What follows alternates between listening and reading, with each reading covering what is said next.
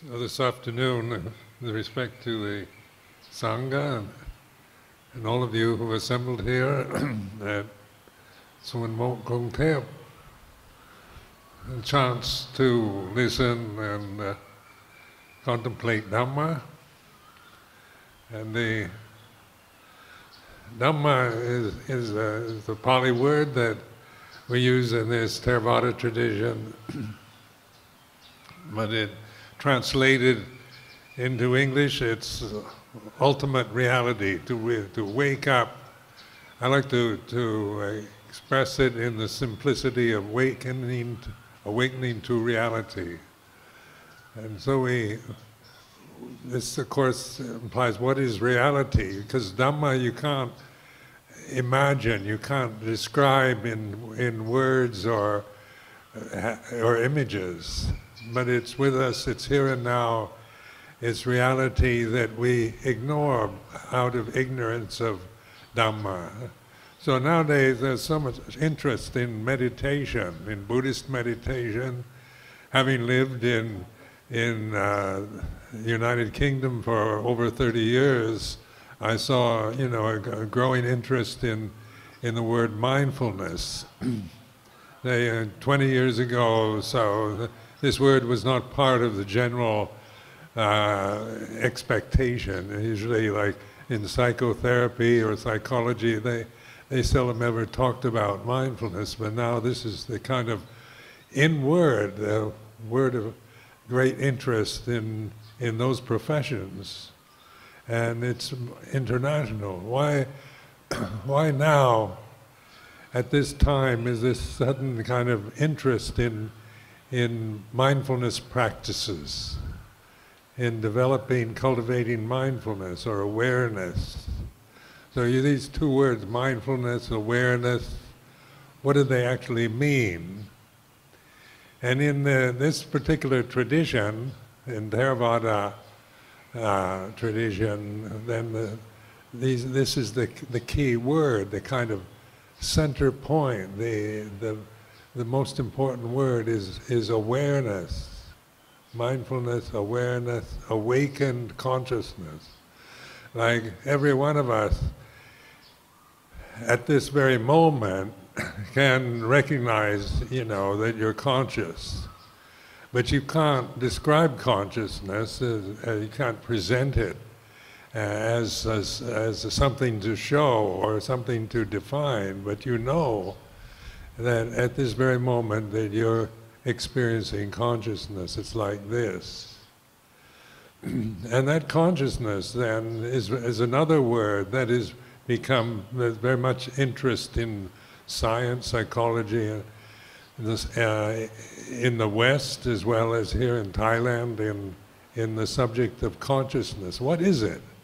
How do you, how do you define it? Or is it just, uh, you know, a word we use that we see consciousness in the Western sense, Western civilization sees consciousness within the body. So the consciousness is usually referring to the brain or uh, within the limitation of the individual human form.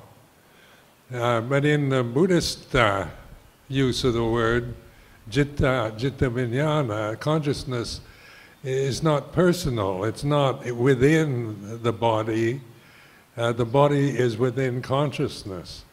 So just reflect on the difference that that would make. When we see consciousness in a highly personal uh, contained way, such as within our human body, then this increases this sense of separation, of you and me, of differences, uh, of division, uh, this whole sense of loneliness, separateness, and the fear that generates from feeling isolated or separate from everything else is part of the, the psychological result of seeing that consciousness is something uh, personal, something within your body. But when you just ex experiment with seeing consciousness or relating to consciousness as, as, the body is in consciousness, so all these these bodies, all these people, all of you sitting here, uh, are in the consciousness, which is one, is not personal. just think how that affects you. At first, you know, if you're, you're so identified with the separateness, it becomes quite puzzling. But in reflective meditation, such as uh, contemplation, reflecting on the way it is, uh, then this we, we begin to to understand in a more profound experiential way the reality of consciousness as universal rather than personal. so, so also it, it seems to connect everything together rather than, than separate. When you start thinking about yourself, the thinking process, the ability to think uh, is discriminatory. It's to, to to separate one thing from another. And that's its function. It, it defines things. You can, uh, you can define uh, objects, conditions, forms, big or small, grand or minute, with words, with images. and that's the thinking ability that uh, the human species has developed which we tend to strongly identify with. We, we're thinking creatures. We have languages that we, we learn when we're very young, and we have, we're conditioned to think, to perceive in certain ways cultural conditioning, social conditioning, all the conventions that we acquire after we're born are through the thinking process. And so we're told what is right, what is wrong, good, bad, true, and false. And uh, this, this is the conditioning process that takes place after birth. But consciousness is not conditioned, it's not something you acquire after you're born. When a newborn baby arrives, it's fully conscious. Uh, it has human form, and consciousness. These are natural conditions. These are not cultural, culturally biased conditions. They're not identified in any way because there's no language or memory to do that. And then as the baby develops, the mother's influence, the father, the brothers, and sisters, the social uh, milieu that the, the baby grows up in, it conditions how it sees itself, how it sees the world with mindfulness meditation, the importance of, that we talk about uh, samatha vipassana, these two words in the Thai forest tradition or in Theravada Buddhism in general. These are uh, two aspects of meditation, meaning to, to concentrate the mind. Samatha meditation is concentrating on an object. So this leads to, if we concentrate on an object like the breath, we use anapanasati, I'm reflecting on the breath, concentrating on the inhalation, exhalation of our own bodies. Uh, this leads towards tranquility. It, it, stops the, it tends to stop the wandering mind, the agitated uh, sense of worry and and um, mental states that, that haunt our daily life as we concentrate on one thing, such as the normal breathing of, of our own body. Uh, that leads towards tranquility. And so we begin to discover uh, the power of the mind, not just getting caught in wandering thoughts and in worries and problems that of the world, of the family, or of uh, personal problems, we begin to develop a, a sense of concentration on something peaceful, calming, leading to, to a sense of well-being.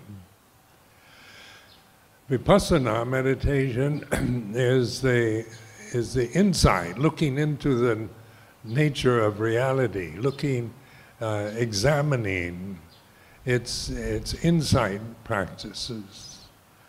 And for insight practices, you don't focus on an object, you're not concentrating on one object, Yes, but you could say the, the English word mindfulness, I mean, the mind is full, it's open to everything. It's not, it's not seeking one particular object to concentrate on or one subject. It's open to the reality of this moment, is like this. And so this is, this is something quite new to, to most of us. When I first started practicing Buddhist meditation, that was over 50 years ago, um, I didn't quite understand it actually. I, I could concentrate on objects because that's how I'd been trained, you know, through education, modern education, through cultural conditioning to, to focus on one thing uh, and, and concentrate on it by shutting everything else out. That's what we do when we're reading or studying. We're, we're concentrating the mind on what we're looking at or reading. But the attitude of vipassana was still, I mean, I could understand the, the, uh, the teacher's explanation well enough, but I didn't quite, it took me a while to really appreciate what mindfulness or awareness really is. And as I said before, it's mindful or aware, awake to the present moment. And then you, you begin to examine, like uh, in Vipassana meditation, you, the, we see time as our reality, time as the real world, our human forms as, as, as self. So we're strongly identified with the physical body we have, with its gender, whether you're male or female, with its age, whether it's old or young, uh, attractive or unattractive.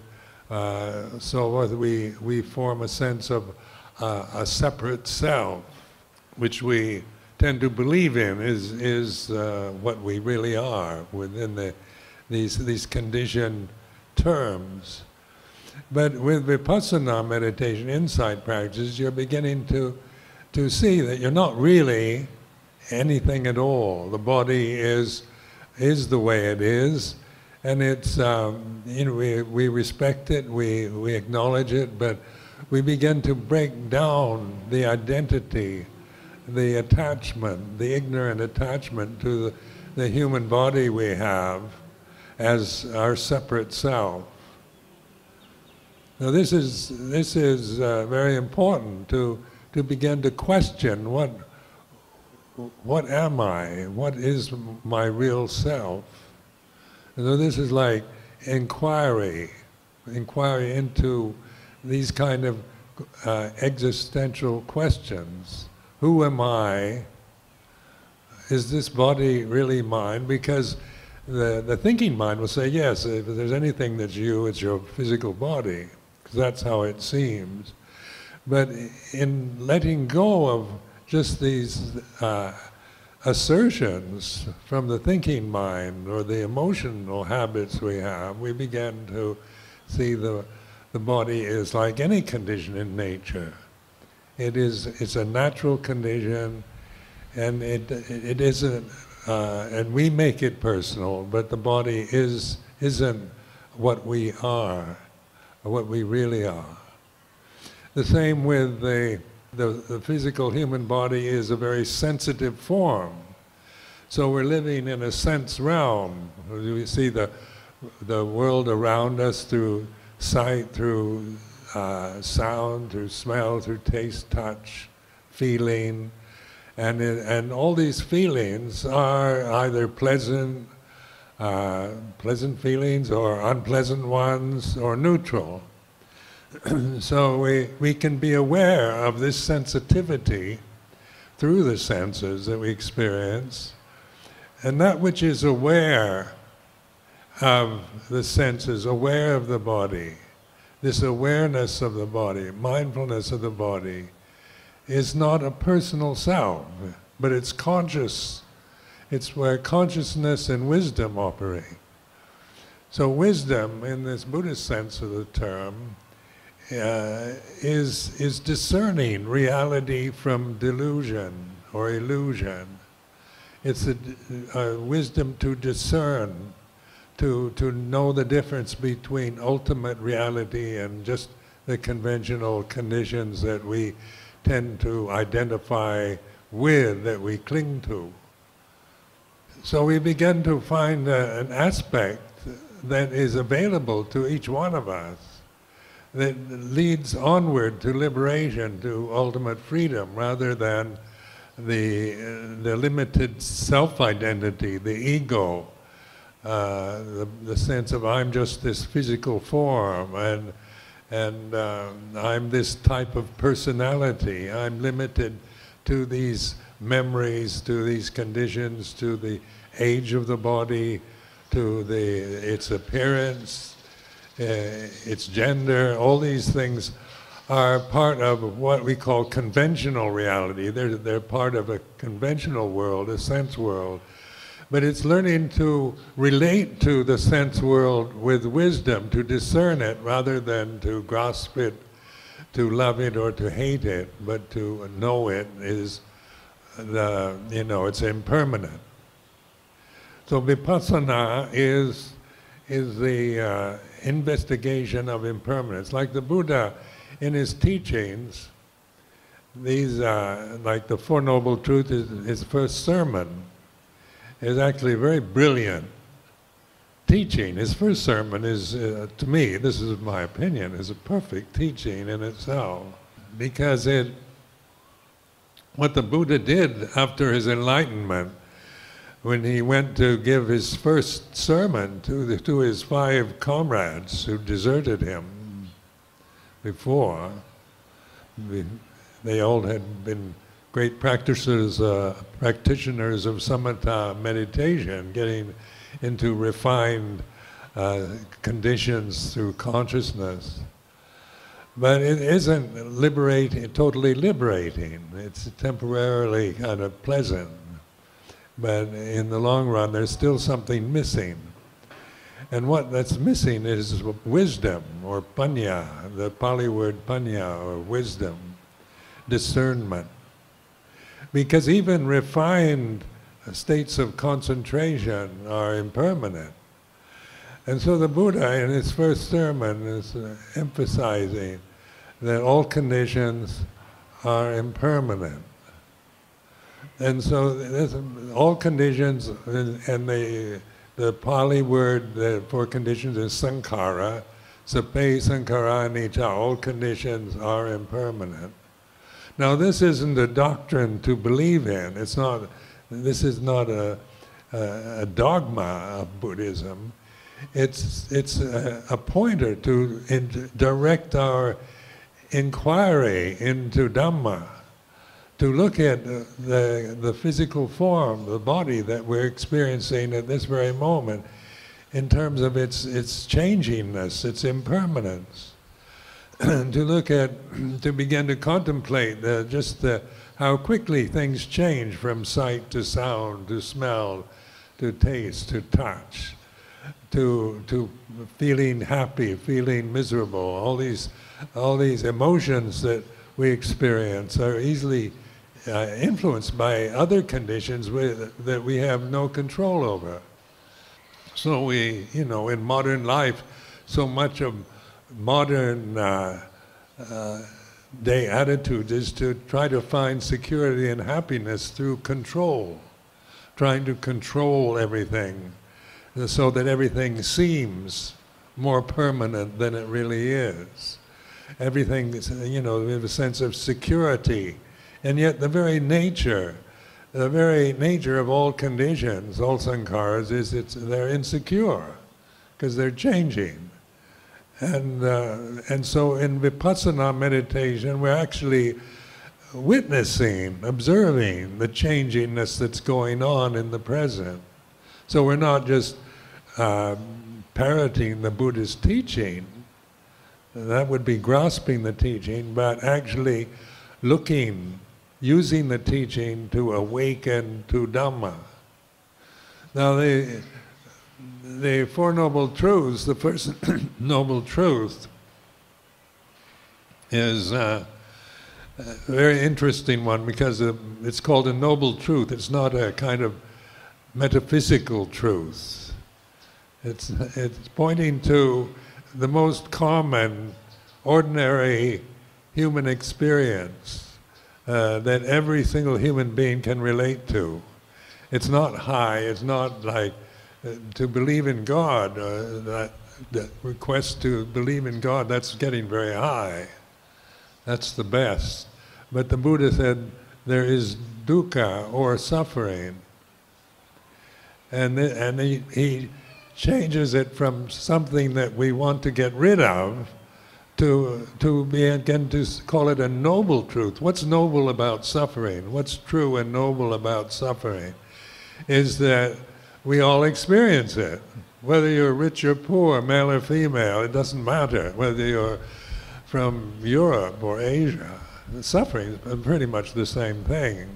Whether it's ancient India at the time of the Buddha or modern Bangkok, suffering is, it hasn't really, you know, it's in many things that make us suffer uh, change, but the actual reality of dukkha or suffering is the same. So notice he's taking something none of us want. We don't want to suffer. We want to be happy. We're seeking happiness and security and stability. And the Buddha takes what we don't want, that is unstable, insecure, and puts it in the category of a first noble truth. This is very interesting to me anyway, because living in, in England for so many years, they have very highly developed interfaith movement in London. And so you, you, you mix with other religions. And of course, London is, is a melting pot of every religion. Uh, you can find whatever, uh, you know, from any sect or religious uh, cult or whatever in, in somewhere in London. And most, uh, most religions talk about God or uh, in, in, that sense and believe in, in, uh, in God or some higher deity or force. and so, and then universal love.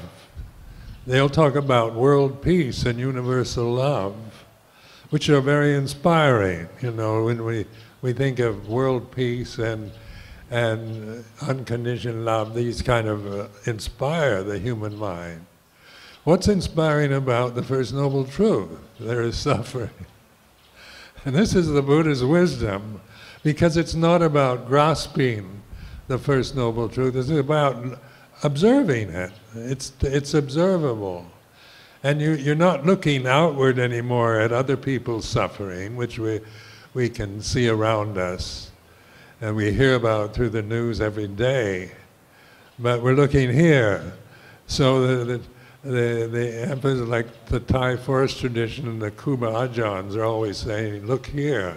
And they point here to the heart area, you know, look at your chitta, look at your mind. And rather than seeking uh, and noticing the suffering external. Look at the sense of worry about the future or guilt about past actions or speech or uh, anxiety, fear of the unknown.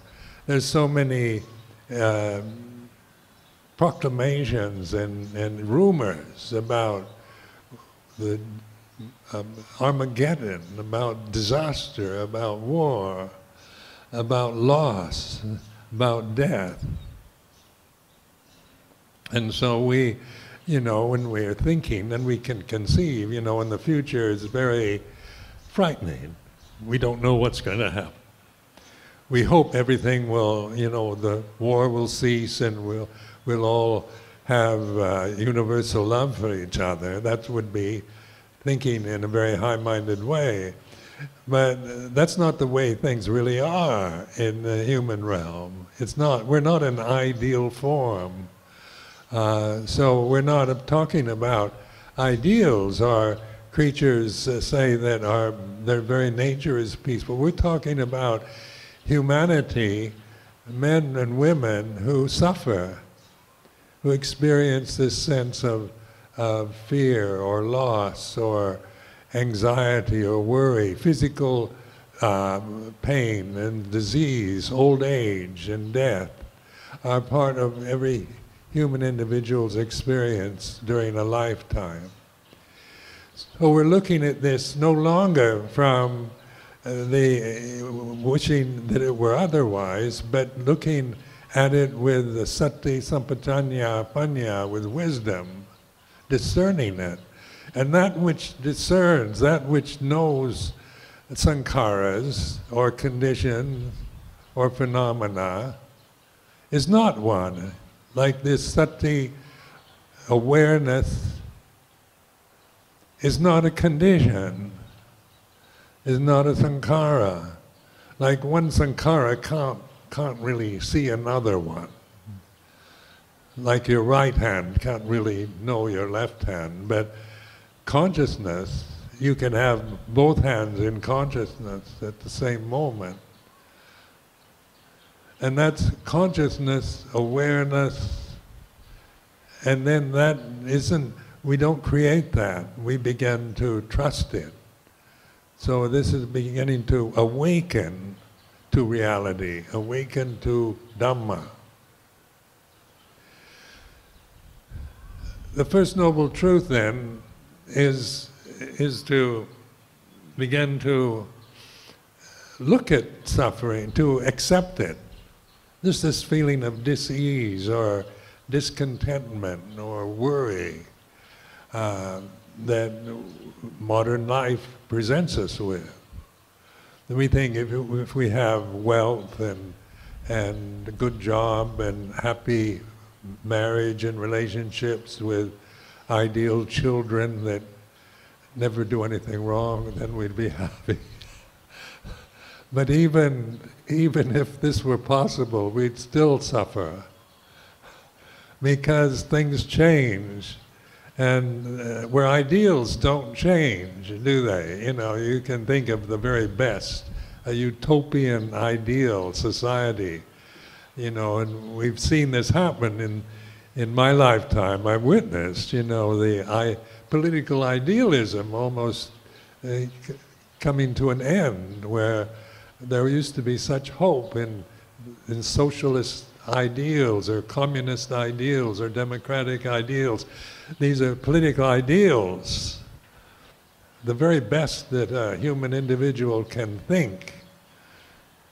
And ideals don't change, you know, they, they, they stay beautiful uh, every time we think about them. They're still the same perfect ideal. But life, in, as we experience it, here and now, in the present is about change. Everything's changing. So we remember the ideal, we get we feel inspired with the ideal, and then we forget it and we get we hear some bad news and we get upset. We, but that which is aware of change, this is very important to recognize. This is where sati sampajanya, or mindfulness, intuitive awareness, is aware of change. All conditions are impermanent. And their very nature is change. They arise, they cease. Your, your physical body was born, it grows up, gets old, and dies. That's the way of all sankharas. So rather than identifying, seeing your soul identity as your physical form, or your emotional habits or your personality, you're taking refuge in Buddha. You know, when we, this is a ceremonial part, uh, side of, of Thai culture. We say, Bhutang Saranang Gacchami, take refuge in the Buddha. What does that really mean in terms of a practical reality of here and now? It can be merely ceremonial with many people. We chant it, uh, and, and in Thailand, Theravada Buddhism, Pali Buddhism is the most uh, Thai people uh, feel identified with that tradition. But then we ask ourselves, what does it really mean in terms of practical, the practicality of taking refuge in the Buddha is the awareness, awakened consciousness.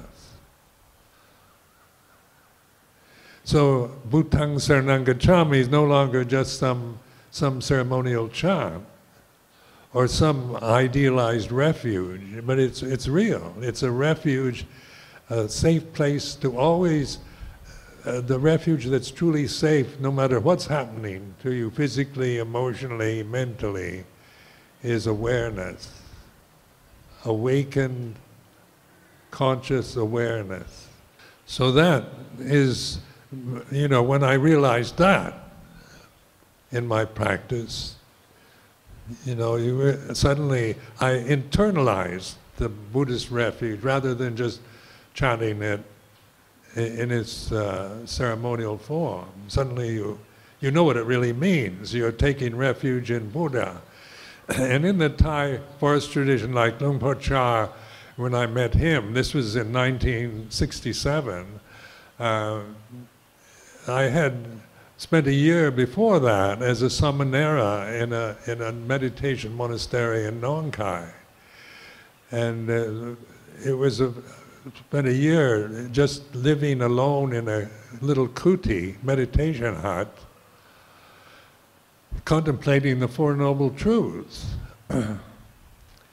and uh, I had a lot of insight during that year understanding, profound understanding of these noble truths that I didn't have when I started.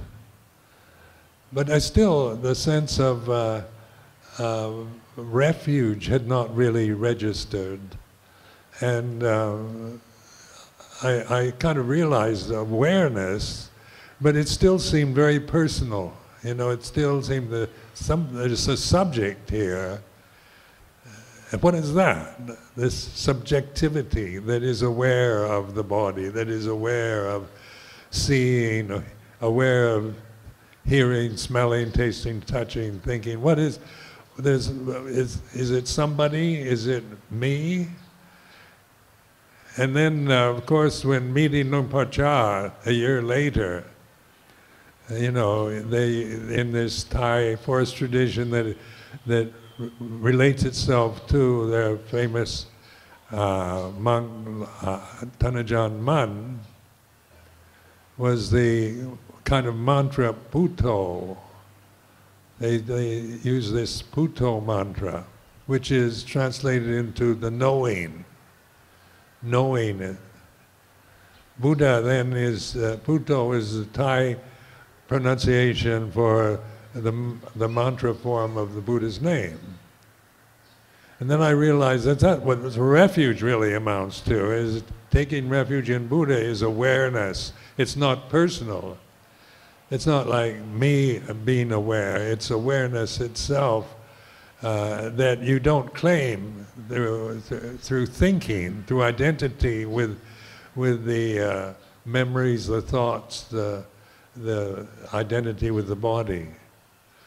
And so suddenly you have this insight, a kind of expansive understanding of reality that that the, the ego limits you to always seeing everything in terms of subject object.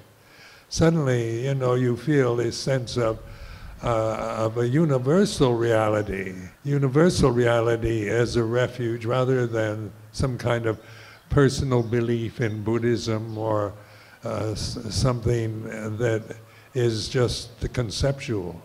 So when you're alone for like the first year as a samanera, being alone in a little hut, I couldn't speak Thai uh, or Isan dialect, and uh, they'd bring uh, tiffin carrier, a pinto of food every day. So they had quite nice food they'd give me every day.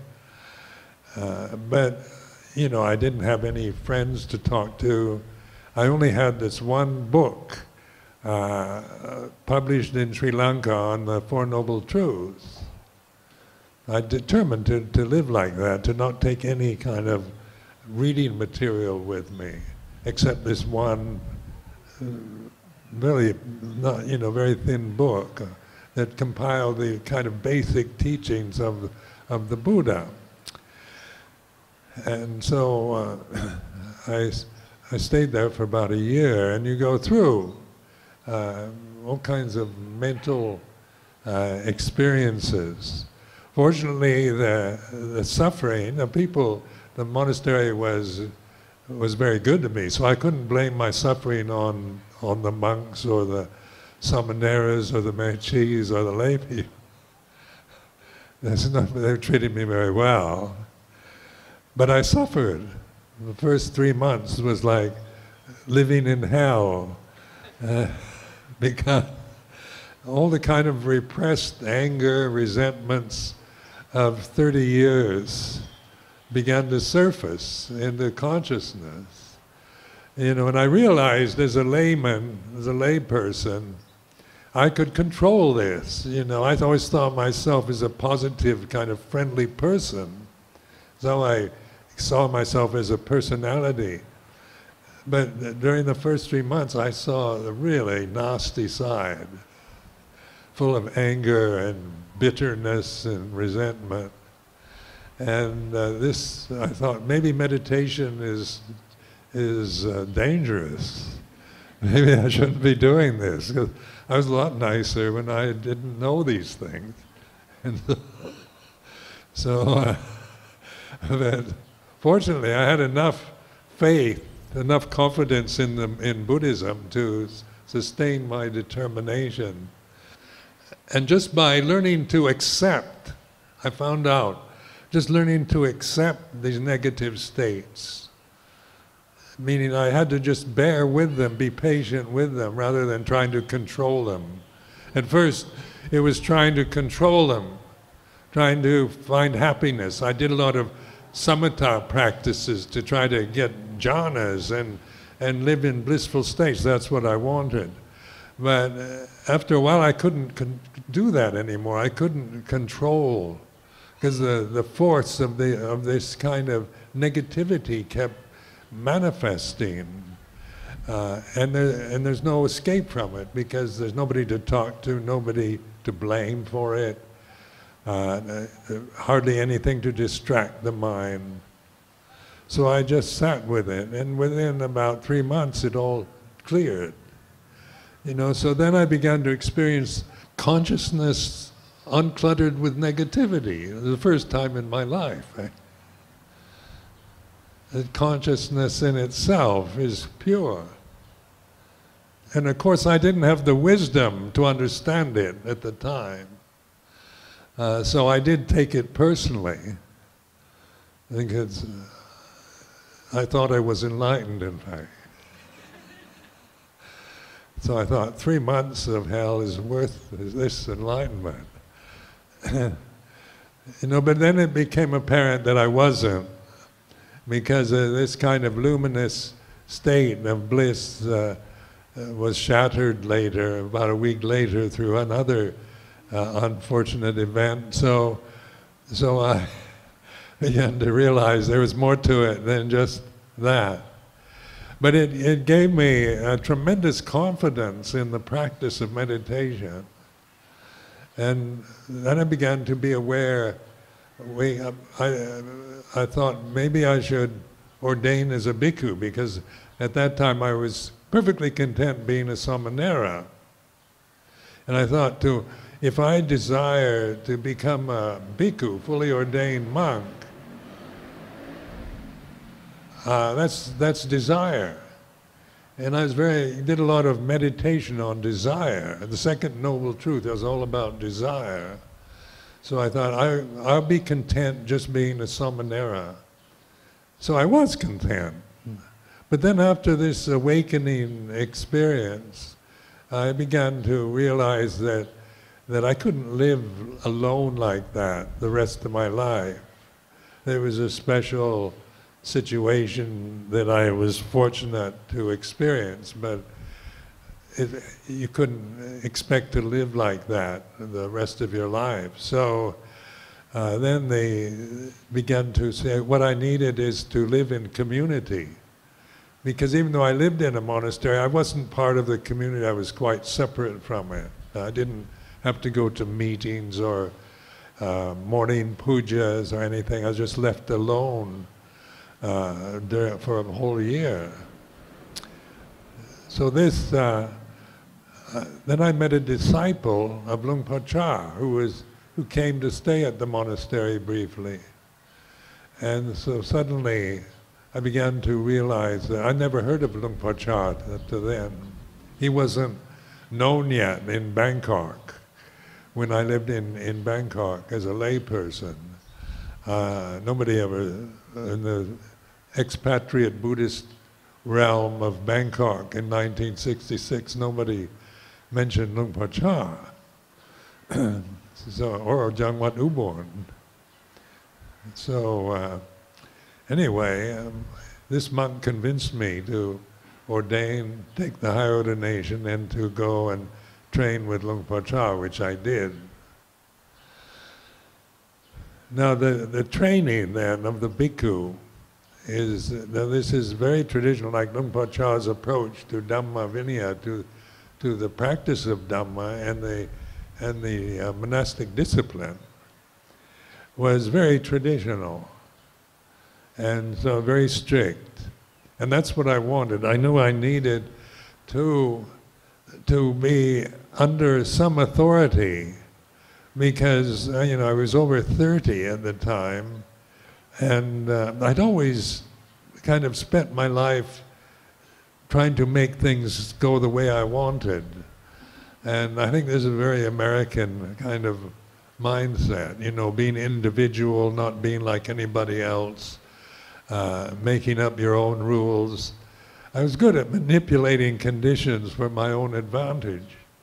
So I thought, I don't want to, I know that if I continue like this, uh, I won't develop. I'll just recreate the same old patterns. So I began to study the Vinaya and began to realize I needed to train in a traditional discipline that I can't manipulate, that I've got to surrender to and just bow my head and, and conform. Because before I considered myself a nonconformist. Then I became, you know, when I met Luang Por Chah, I became the most conforming person, probably the most conforming American at that time.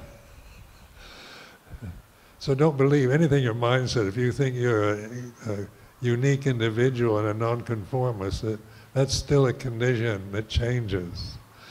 So in, in terms of the conformity, you know, I trusted uh, Ajahn Chah, there was, when I met him, I felt a sense of uh, respect almost immediately.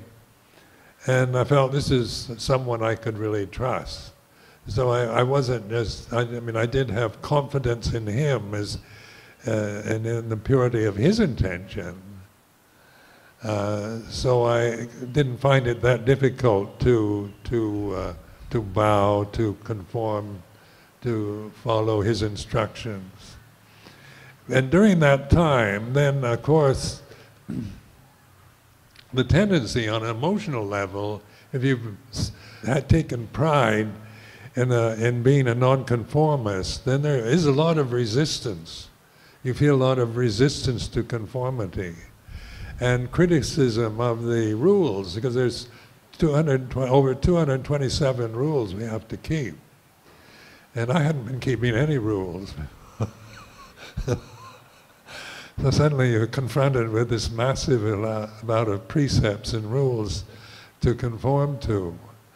But with the emphasis on mindfulness, sati sampajanya, on intuitive awareness, embracing mindfulness, uh, and the wisdom uh, of Chah, of Ajahn Chah, was that I began to be open to my feelings much more, to, to my resistance, to my to stubbornness, to conceit, to a lot of personal conceit or opinions that, that I'd formed in my lifetime, my critical mind.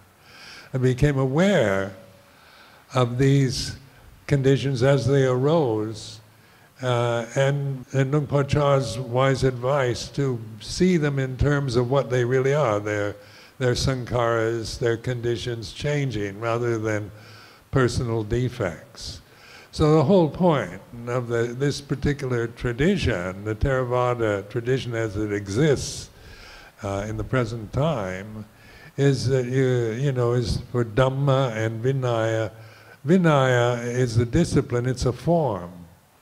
Like any form, it is impermanent, uh, but it is the form the Buddha laid down, and then the Dhamma is formless. And so this is where you begin to recognize the wisdom. We, we live in the, in the realm of form, of seeing, hearing, smelling, tasting, touching, thinking. These are all forms, all conditions, all sankharas that, that we, you know, have to live with uh, during a lifetime. And the, these forms, you know, if we live within uh, a traditional form such as the Vinaya, it helps to, to reflect your own personal conditioning. Because I didn't create the Vinaya, or I didn't manipulate it according to my own desires. So it's not personal anymore. It's not what I want or think or believe in, but it is, it's all based on moral, morality, on, on good manners, on etiquette, uh, from just small things to, to major uh, criminal offenses.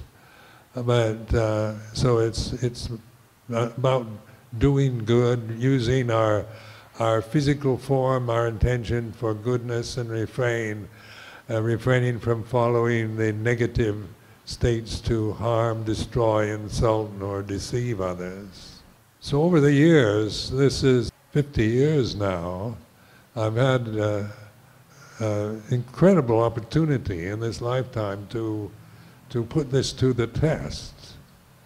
You know, I feel these 50 years have gone by so fast that, that I can't believe I'm this old, really, because like consciousness doesn't have age.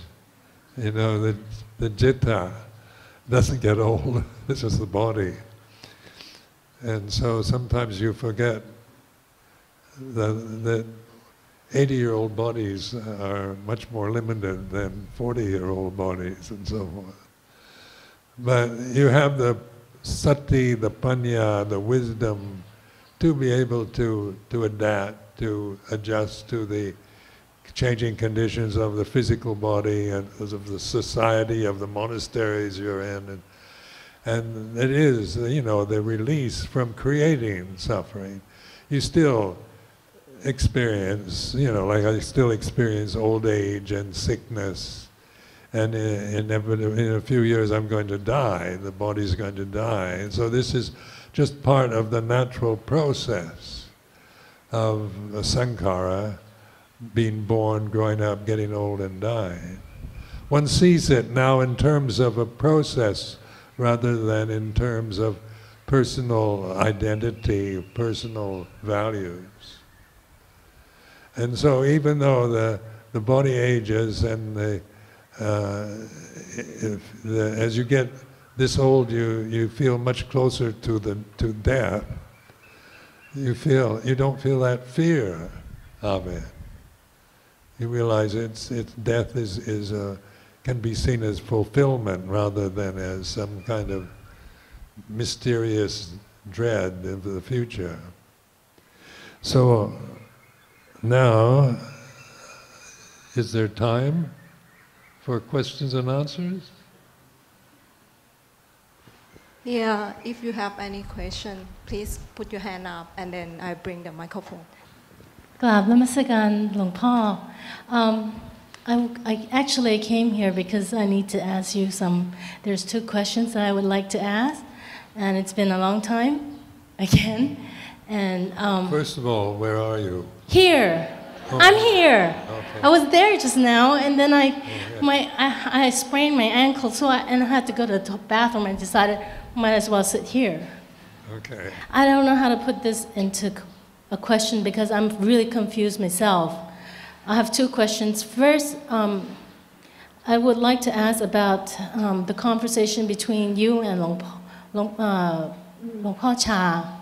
uh, when he, you were asking some question around Vinaya, and and then he was telling you, he was telling you that uh, I, I I didn't understand. That's why it's been a long time, and I decided I had to come and ask you.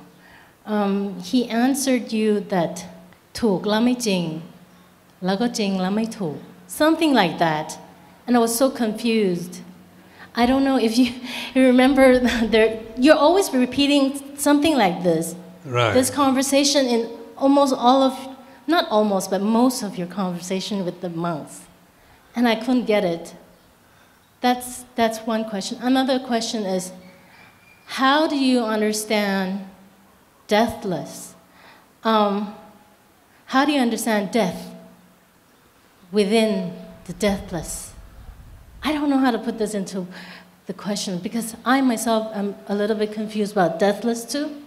How do you see de- death in the deathless? Yeah, something like that. How do you see death in the deathless? Do you know what I'm saying? I don't know how to say it because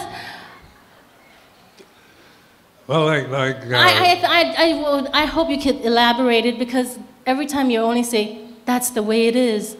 But I'm still affected and afflicted by death.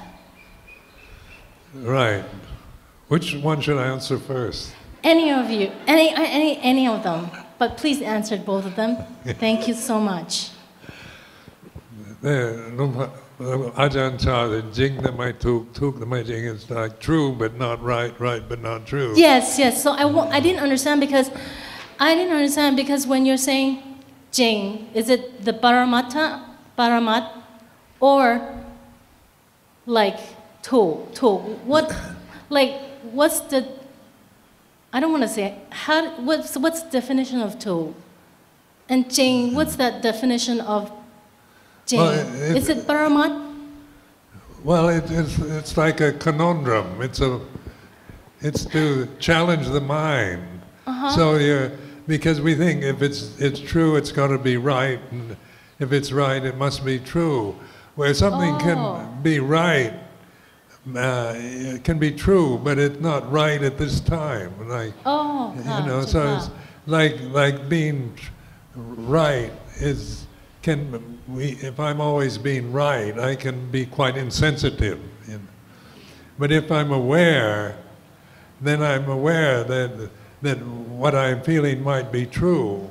But it's not always right to say anything or do anything with it because you know it can really offend people by by uh, having forming opinions or coming across. So mindfulness is where you're aware of situations. You know, it's more intuitive. It's not fixed.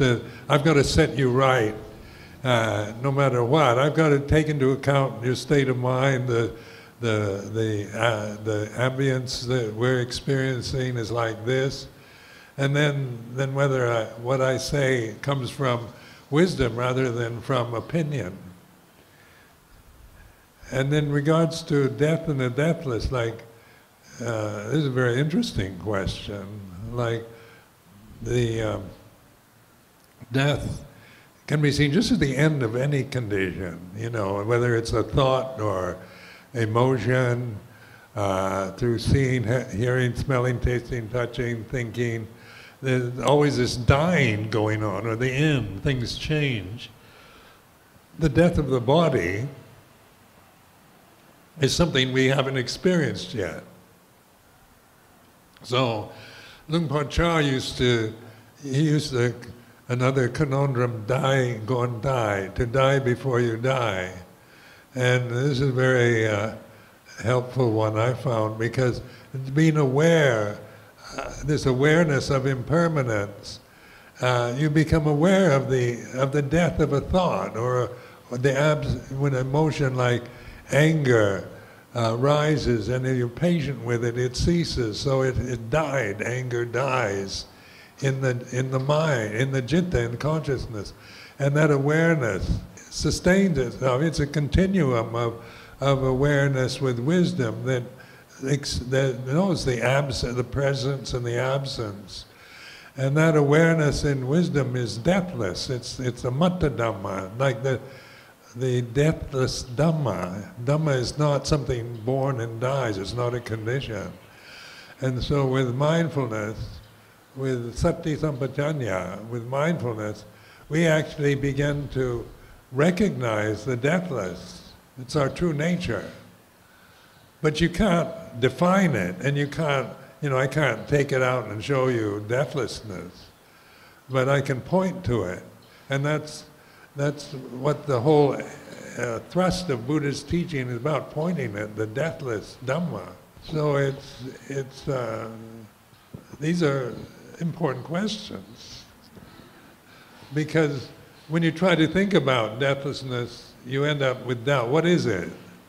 You know, it, you can, and conditions, any condition you can imagine, you know, whether it's good or bad, or it has a, uh, you know, it's what color it is, the size, whether it's microcosmic or macrocosmic, or whether, you know, determines images, size, quality, all these are about conditions. and awareness uh, of these in terms of not being aware of the object and judging it with personal uh, liking or disliking of it, we begin to, to see this, this anicca of, of phenomena, the changingness of phenomena, and, and rec- recognizing, discerning the absence of change when there's pure just awareness and consciousness. Uh, like Tenjo Kun Pudatat used to talk a lot about Jit Wang, the empty consciousness, pure consciousness. Or they call it Jit Derm, the original mind. But it's what we begin to recognize through awareness. Like we're all experiencing it now, but we, we may not recognize it because we're thinking, we're caught up in, in thinking about it or questioning or doubting or believing. But as we develop sati sampajanya, sati panya, then we, we stop trying to figure things out or analyze by just observing the, the changing conditions of the here and now that we're experiencing. And all conditions cease, you know, so, and then they get born again. So there's this birth and death or beginning and ending. And I found this, this is a very holistic approach actually, because you're looking at just the birth and death of your own thoughts or emotions. What is it that is aware of the presence of anger and aware of the, when this anger ceases? You know, that's conscious awareness. You know, so that there's, uh, it's like Jit Wang, the empty conscious, conscious, pure conscious awareness, uh, without a, uh, attachment, without desire, is like this. It's, it recognizes itself. So the third noble truth is about recognizing the, the, the, the citta, the consciousness knows itself is like this. It doesn't, it can't, you know, it can't describe it, but it knows. You like right now, the one thing you can really know is that you're experiencing consciousness. Anyone here non unconscious? Stand up. Lopachaha, can I ask you another question? Sorry, this is the third one. Because I was, it, I still have this doubt, like, then isn't sati, isn't sati also a conditioned state by itself? Sati is just it's, it's a natural, conditioning state, isn't we, it? You can't create sati. You can't. It's not a condition. It's a. Oh. It's oh. just pure awakened attention. But sati is not, is not the deathless, right? Well, it, it, it's the way to the deathless through sati. It's like the, the escape hatch from death. It's through sati panya, the mindfulness wisdom. And this is, otherwise there's no escape from, from the belief in I'm this body, I'm this personality, I'm this old, I'm going to die. I mean, there's no escape from, from the, the conditioned world through any kind, through transforming it into refined states or whatever. It's not, you know, ideal states. uh, the conditioned world, its very nature, is dukkha or unsatisfactoriness. So we don't expect to be satisfied anymore by conditions, so we can adapt and and and um, live with the changing conditions, like adapt to the changing conditions of age or disability or sickness or loss. You know, because of sati sampajañña, uh, then our refuge is in the deathless Dhamma, amata Dhamma, not in, in uh, controlling the conditioned world so that we feel safe. And is, when you, you know, contemplating this for 50 years, you realize that it's the only escape hatch. In fact, in one of the suttas, they talk about this, the only escape is, is through sati sampajañña. And because, you know, look at your life. You're, you have to experience life always from physical, living with a physical form, through, through the sense, senses that you have, and the world that, the, the sensory world that you're experiencing is, uh, you know, the way it is. So, uh, it, but it's not perfect. You can't find any, like every, in monasteries, you know, newly ordained monks are looking for the perfect monastery, and you'll never find one, I tell them. Because monasteries are conditioned also, and they change. So it's not looking for, for ideals or perfection, but beginning to be aware of that discontentment, uh, wanting something you don't have, not wanting things to be the way they are. Uh, all these are, are the suffering, the sense realm that we experience, desire realm. But if, if we were just desire, we have no, desire can't see itself. Desire you know, is, is a condition, is a sankhara, it arises and ceases. And it can't know itself in any way. But through sati, mindfulness and wisdom, you can actually be aware of desire as, you're experiencing it. Wanting something you don't have is like this. Not wanting something you have that you don't like anymore is like this. And, and through that kind of reflection, then you you, you, you begin to see the, the suffering you create by attaching to these desires.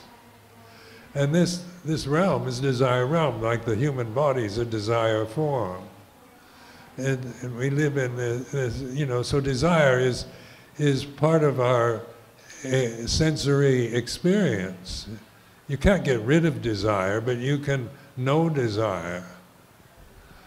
You know, so it's not that you don't, you know, after 50 years, there's an awareness of desire.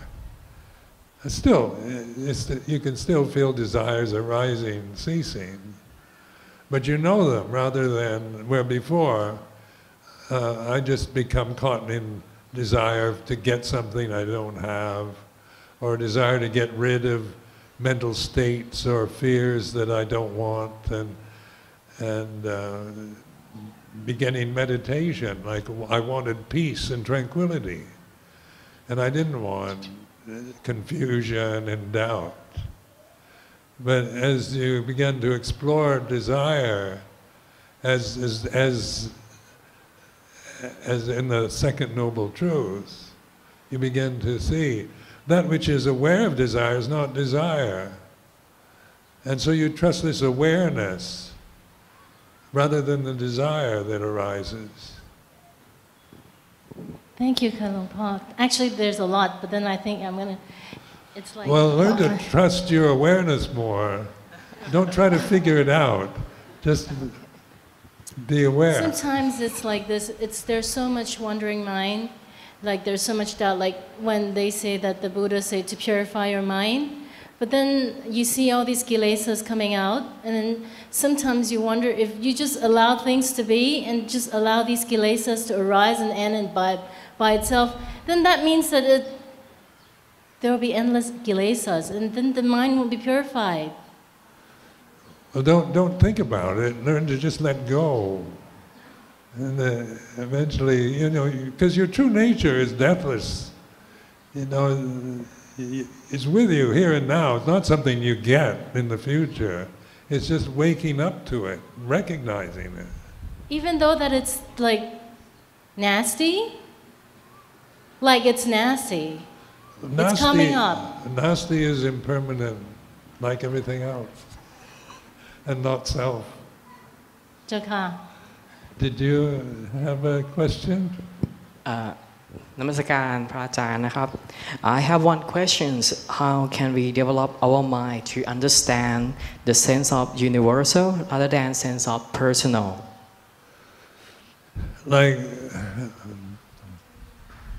uh, you talk about amata dhamma or deathless reality is is oneness. Like it has no no limit, no not bound by form or limitation. And uh, so you can say universal or one. What is oneness? They talk about oneness. Where, ca- where are we one at this moment? All these people here in this hall, where, what's the oneness of this? It's a consciousness unites us. But when we start thinking, that separates us. Like I'm here and you're sitting there. We're two separate. That's thinking. And it's just, this is more reflective, like when we begin to feel one with, with nature itself, with the universe. It's through awareness of it, not through thinking or analysis. Like the thinking, when you think about yourself, and then you get analytical, you know, whether you should, what you should be or shouldn't, or whether you're good or bad, right or wrong. But it, when you're just aware, then these mental conditions will change. Sometimes you think I'm I'm very good, and that'll cease, and then I'm not very good, that'll cease. Uh, because your awareness will accompany, It's aware of the changingness of of your own thoughts or your emotional habits. So trust that awareness, and that is the the escape hatch from birth and death. You know, this is limited by the very words I'm using. Like the Buddha's teaching, the Four Noble Truths, takes, you know, suffering and and then you know through that sequence of first, second, third, fourth, the fourth noble truth is is uh, deathless, re- re- realizing amata dhamma. So it's the it's called the eightfold path, but it's not like divided into eight things. It's it's completeness. It's it's wholeness, deathless reality. You can't imagine. You can't imagine it, but you can recognize it more and more through sati sampajañña. Um, what is your suggestion or recommendation to uh, encourage the people on the younger age, uh, the teenagers, to have the insight on the Buddhist way? Because they are growing in the world of a lot of illusions, a lot of conditions. Thank you. Well, it's there's more human beings on the planet Earth than there ever has been. You know, about about nine billion or something like. that. And, uh, but in the, you know, I, I became interested in Buddhism when I was 21, and now I'm 82, so that's 60 years, over 60 years. So, and, and 60 years ago, 1955 or so, the uh, interest in Buddhism, say in the States, in America, there was no, not really any interest in it. Uh, I became interested through Zen Buddhism, through the kind of, I was in the, in the US Navy and we were in Japan. Became interested in, in Zen Buddhism And there was just a small group of American, like intellectuals in the Bay Area and so forth that, that were, it was becoming interesting kind of way of thinking. Uh, that before we, we never, you know, I'd never encountered that kind of approach before. And so this kind of faith, uh, or faith arose when I was 21. Over these 60 years, I've seen it grow. Now there's, there's, you know, in the in Europe, in United States, Australia, uh, everywhere in South America, there, there are groups that are really interested in mindfulness meditation or in Buddhism, because uh, the Buddhist approach, the Buddha, you know, to, you know, developed uh, a, a, it's a traditional form, very like this Theravada approach, very traditional, has managed to survive 2,559, 60 years what traditions do we have that can trace their lineage back to 2,500 years ago? And uh, because it is, you know, it's, I don't think the Buddha ever expected it to be everybody to understand it, but it's for those that are ready for the teaching. And there's more and more people, not only here in Thailand, but in, in the UK and America and various other countries that had no interest 60 years ago, none whatsoever in Buddhism, that are very interested now. And I've, I've, witnessed this growth myself, been a part of it, in fact. So, you know, I've been impressed. I went on a world tour this early this year, and um, into, went to Brazil and Uruguay and Chile, places that you wouldn't expect anyone to know anything about Buddhism, but there's a lot of interest in, in and I've been to Russia several times and things like that, that because of the internet, the, the media is so universal now, it's everywhere. So there's so much available information on, on mindfulness practices, on stress reduction, on uh, mental training of various sorts on, on different uh, traditions of Buddhism. Psychotherapies now are becoming more inclined towards mindfulness practices. Why? Because, you know, there is a, an awakening going on. People are beginning to feel, even in, in affluent countries, you know, it's, you find it's the, the kind of middle classes are the ones that you have enough of the good stuff to know that just having more, you know, is, is not the, the way out of suffering. So there's a kind of awakening going on because our lives become quite meaningless and pointless. And people are now, you know, so much of the world's population is educated, so that they, they tend to doubt a lot. They can't just believe uh, religious dogma easily anymore.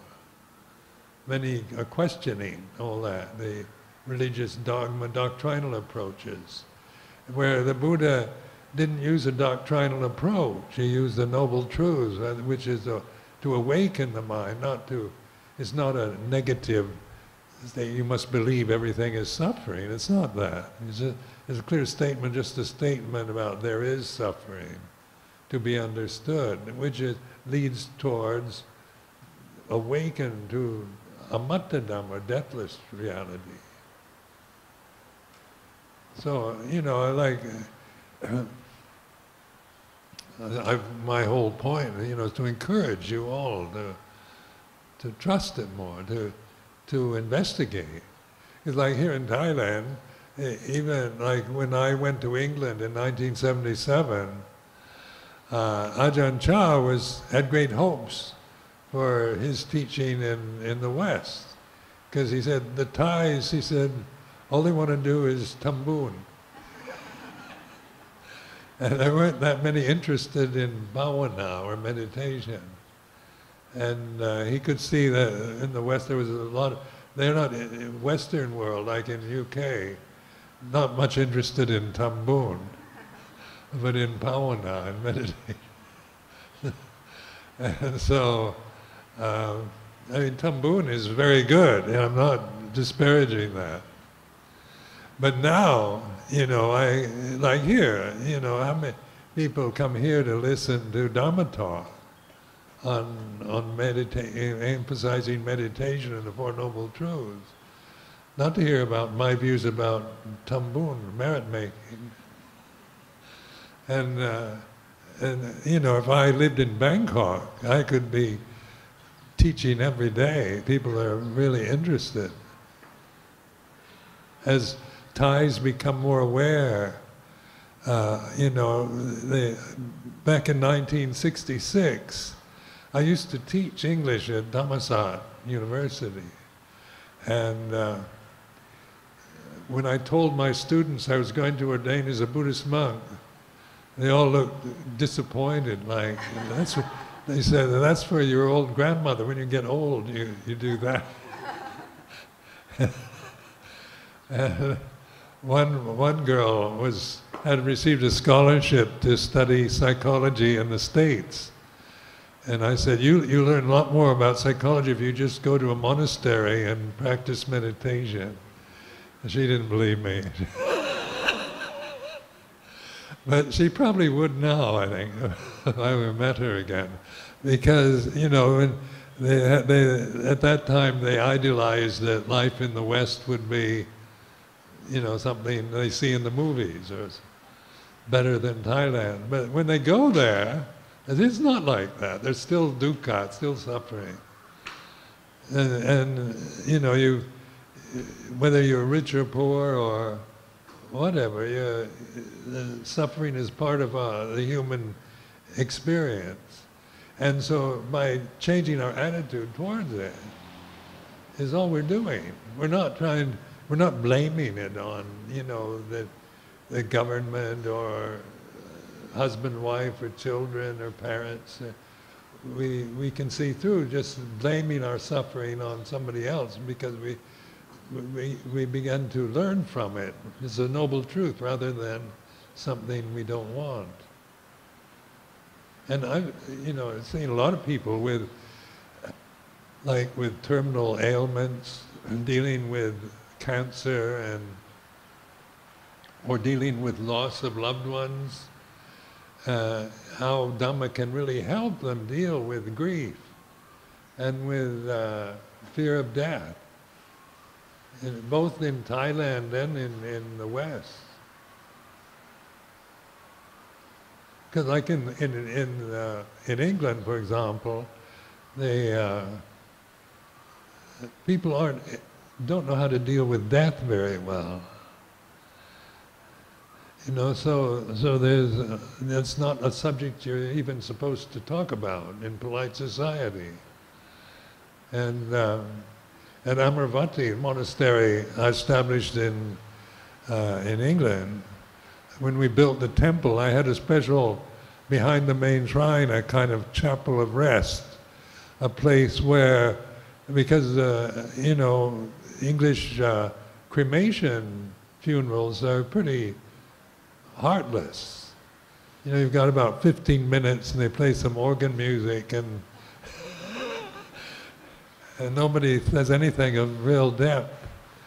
And so, uh, you know, by establishing a kind of chapel of rest where people who could, you know, uh, take, bring the body and keep it in this chapel of rest, the monks, the nuns could use it in meditation, but also it's a way of of le- learning to look at death and, and to be aware of how it affects you. And, and I don't know how many British people found that very helpful because the, there's no instruction, you know, that in the culture itself for that kind of awareness. And yet they're open to it. Like in, when I, I remember uh, when I, the first year at, with Luang Por Chah 1967, they had a funeral, cremation in the monastery. And in those days, Wat Pah Pong was very primitive. It didn't have any amenities at all, no electricity. Uh, you had to draw water from the well. It was very, very basic. And they had just built a funeral pyre of wood and a, and a coffin made out of just boards. And uh, it was a village woman. And we, and Luang Por Chah had us meditate on the corpse before they burned it. And uh, the first time I ever saw uh, a corpse. And uh, not the first time, but the first time I really, uh, in the Navy I saw corpses, but I didn't, I didn't meditate on them. And I found a, you know, a sense of, of respect for Dhamma and, and good qualities arising in me, rather than fear or disgust. Uh, and, uh, and I think that, that, that, like, I really was impressed by the Thai funerals, the cremations that I saw in, in uh, Isan. And so I tried to give that opportunity as best I could when I lived in the UK. And, you know, and the British people, well, many of them were really grateful for that, helpful to deal with grief. Because that's what we have to deal with when somebody relative or a close friend dies. We all feel loss and grief. And uh, the British sense is stiff upper lip, bear with it, don't make a scene, rather than contemplating it, reflecting on it. โอเค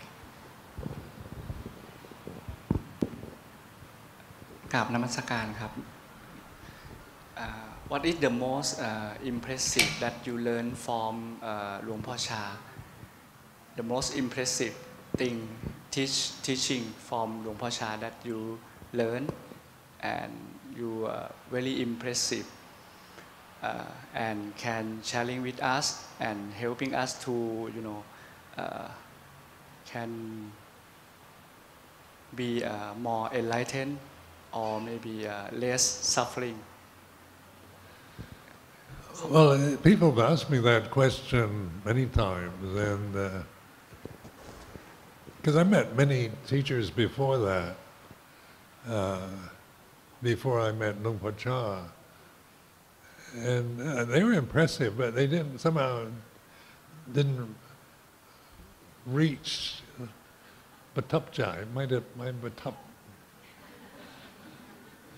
So, uh, so strange you know, with Luang Por Chah, I felt that. I felt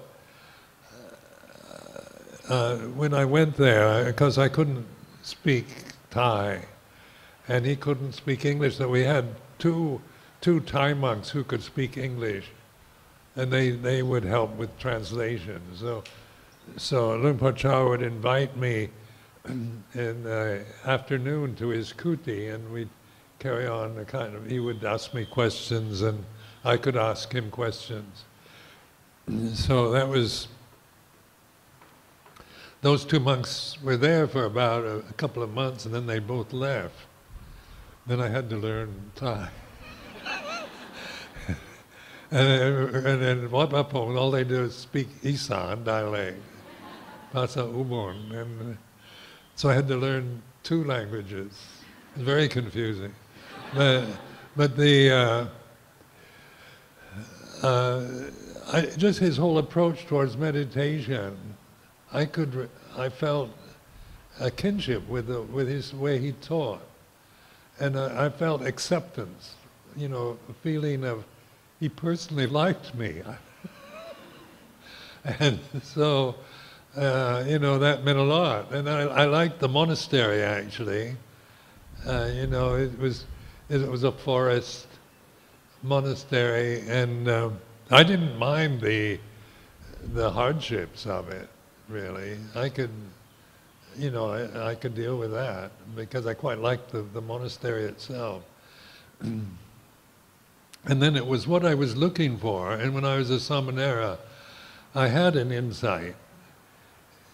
To, I needed to be trained in. If I was going to become a bhikkhu, you know, if I was still a Samanera, novice monk, if I was going to become bhikkhu, I wanted to become really good bhikkhu. You know, I had to learn the vinaya, the, the discipline, and in a way that you know I had to uh, develop a side of myself that I hadn't really developed before, but I kind of knew I had I, in order to progress on this path, I had to do this, and it was kind of insight knowledge. Uh, so when I met Luang Por Chah, it fulfilled all my wishes, all my expectations. So I, I never had any trouble staying there. I, I quite liked uh, living in northeast Thailand, and and uh, it, it, took a time, while to get used to uh, the culture and the food, but uh, actually I quite liked the I liked living there. And uh, then Luang Por Chah was, had a very good, great sense of humor. And so he was very warm kind of personality. He had a very charming personality. So I really enjoyed being around him and being in his company. So, and that helped because sometimes you learn a lot, like uh, uh, just uh, as I began to understand the dialect and and Thai better, sometimes like after the evening pujas, evening chanting, I'd I'd go sit with Luang Por Chah under his kuti, and he'd be receiving townspeople or village people, you know, and they'd come and talk to him, and he'd teach and he'd listen to them and try to help them in various ways. And, uh, you know, and I used to like to listen, just be there and, and that kind of atmosphere, because he was very compassionate, uh, help, trying to uh, help people who had just worldly problems. And so one time, one of the Pratparang, one of the Western monks, questioned uh, Luang Por Chah and said, you know, your very uh, charming personality. Uh, you have a great deal of personal charm, Misane, kind of thing. and he says, do you, so the Pratparang asks, do you, do you use this personally to attract people? And, and Luang Por Chah said, it's my magnet. He says, how I draw people in. I charm them. And after after a while, you know, and, and, he can talk about very worldly things, make jokes, and sometimes it doesn't get into serious Dhamma discussion, just kind of trivialities. But he said if you do that, they begin to relax and trust you. And so, oftentimes, very worldly shopkeepers and in Ubon, city of Ubon, Awarian would come, and they all have a lot of suffering and personal problems. and they began to really listen to Ajahn Chah when he'd talk about meditation and Dhamma. So he was quite, he was a very wise person. And I was very impressed with that. So maybe I could give a blessing for the new year.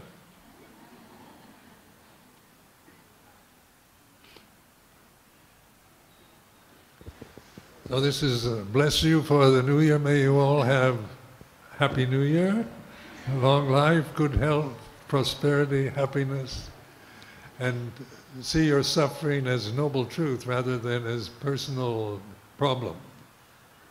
Just change your attitude. That's Jayanto Bodhiyamule Sakyanang Nandi Vandano E Wangdo Wang Vichayo Ho Hijaya Sujaya Mangale Abharatita Balange Sise Batavi Pokare Apisege Sambhabhutanang Akabato Bamota Desunakadang Sumangalang Subapadang Suhanang Bodhidang Sukhano Samuhuddho Jasuyetang Brahmajari Subhatakinang Kaya Gamang Vaja Gamang.